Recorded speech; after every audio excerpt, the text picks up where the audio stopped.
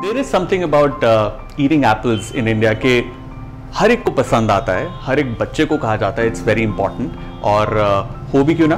it is a very healthy fruit और जब हम बस में जाते मुझे अभी भी याद है जिस जिसके पास एप्पल होता था वो कभी शेयर नहीं करता था अपना फ्रूट मतलब अगर ऑरेंज होता था या कोई ग्रेप्स होते थे वो शेयर करते थे. एप्पल कोई नहीं शेयर करता था. Everybody use to enjoy eating apples और uh, जब मैं पहली दफ़ा कलिनरी कॉलेज में गया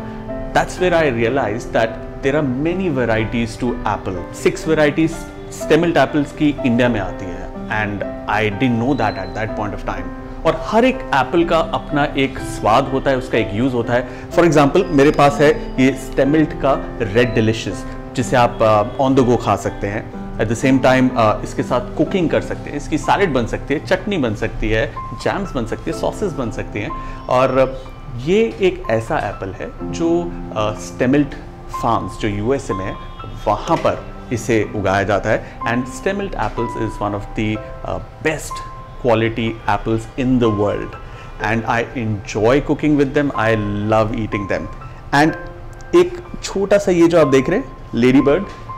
ये जो लेडी बग है, ये इनकी निशानी है कि ये वाकई में स्टेमल्ड एप्पल्स हैं all you need to do is remove this take a bite